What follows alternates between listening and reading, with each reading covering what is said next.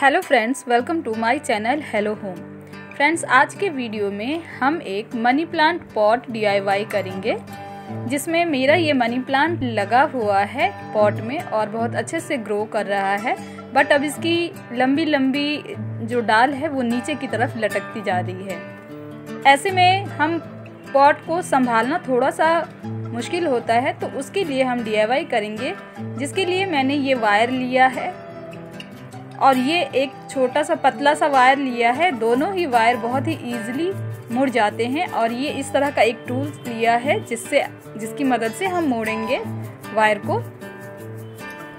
अब हमें इसमें एक गोल सा शेप बनाना है। मैं इसमें एक गोल शेप दे रही हूँ। तो इसके लिए सबसे पहले ये देखिए, मैंने जिसमें एक लकड़ी लगा रखी थी, जिसके सहारे मनी प्लांट को खड़ा करने की कोशिश कर रही थी काफ़ी टाइम से। तो उसे सबसे पहले हटा लेंगे। बहुत ही केयरफुली सभी डाल को साइड कर लेना है और लकड़ी को हटा देना है। उसके बाद हम इस तरह से सबसे पहले इसका सिरा ढूंढेंगे, इस वायर का।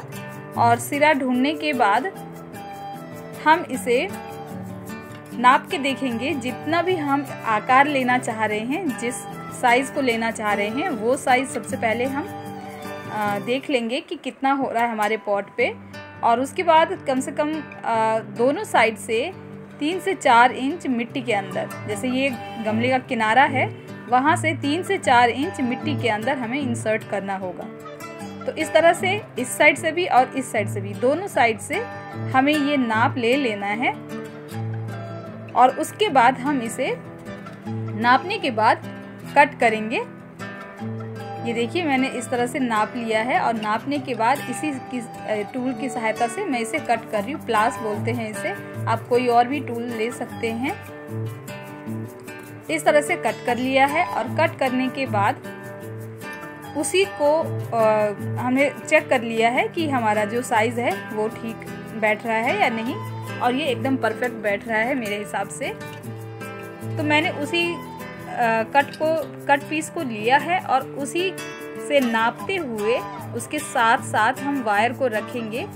वायर को हम एक सिरे से रखेंगे, जैसे ये मैंने रखा, और इसे हम नापते हुए जाएँगे। इसका जो दूसरा सिरा है, कटा हुआ, वहाँ तक। ये देखिए, इस जगह तक। और इसे हम यहाँ से काट लेंगे। अब ये दोनों ही वायर एक बराबर के कटेंगे। तो इस तरह से हमने इसे काट लिया। हमारे पास अभी फ़िलहाल दो वायर बन गई है। यानी कि हमारा जो शेप है उसके लिए दो वायर तैयार है और हम तीन बना लेंगे। तो इस तरह से मैंने पाँच बना लिए हैं और पाँचों को अब हम इसके अंदर इंसर्ट करेंगे जिससे कि हम जो मन जो डिज़ाइन चाह रहे हैं वो तैयार हो जाएगा। तो एक बॉल जैसा आकार बनेगा ये, और बहुत ही खूबसूरत लगेगा। आगे आप देखते रहिए। इस तरह से मैंने इसे, जैसे मैंने बताया कि तीन से चार इंच, कम से कम तीन से चार इंच इसे मिट्टी के अंदर इंसर्ट कर देना है। और ये देखिए, मैंने पाँचों वायर को इस तरह से लगा दिया है, और डिज़ाइन कुछ इस तरह का आपको दिख रहा है। अब जो पतला वाला वायर था, उसे मैं इस तरह से बांधने के लिए यूज़ कर रही हूँ। ये जो वायर है, ये बिल्डिंग के कंस्ट्रक्शन में काम आता है। आप कॉपर वायर भी ले सकते हैं, वो इससे भी ज़्यादा इजी रहेगा और अच्छा रहेगा। तो ये देखिए, अब इसका डिज़ाइन कुछ इस तरह का दिख रहा है।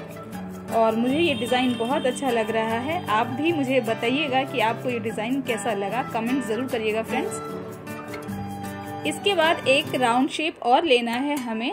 और उस राउंड शेप को हमें इसके चारों साइड से राउंड करके लेना है, ताकि जो हमने ये गोलाकार दिया है, जो बॉल का आकार हमने दिया है, वो बार बार इधर से उधर ना गिरे। तो ये गोला आकार देना बहुत ज़रूरी है। इससे ये एक जगह स्थिर रहेगा और आपका जो मनी प्लांट है, वो इसके ऊपर बढ़ेगा और बहुत ही अच्छा सा ये एक शेप लेते हुए बहुत सुंदर आपके घर में एक डेकोरेशन पीस बन जाएगा।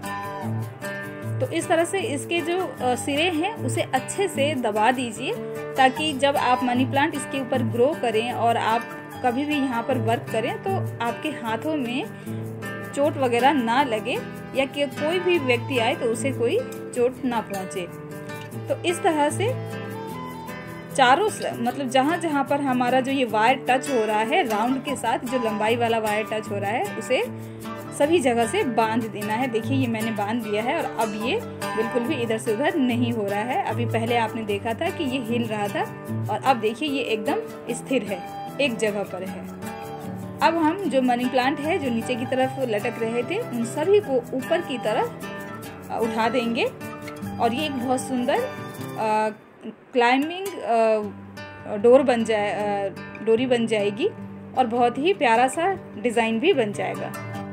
तो ये देखिए, अब ये कितना खूबसूरत लग रहा है। पहले इसके ब्रांचेस नीचे लटक रहे थे और अब ये ऊपर की साइड जा रहे हैं तो ये बहुत ही खूबसूरत लग रहा है। और इस तरह से छोटी छोटी कोशिश करने से आप अपने घर को भी बहुत अच्छे से सजा सकते हैं। तो ये देखिए, ये नाइट का व्यू है।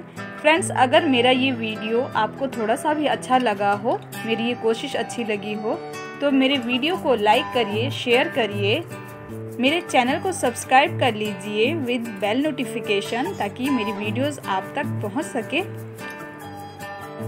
फ्रेंड्स, कमेंट करके ज़रूर बताइएगा कि वीडियो कैसा लगा और मेरे वीडियो को एंड तक देखने के लिए थैंक यू, फ्रेंड्स।